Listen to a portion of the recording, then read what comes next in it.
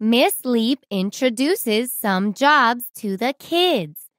The kids talk about what they want to be when they grow up. What do you want to be? I want to be a pilot. All the jobs are cool and great. Henry wants to be a pilot. What about you?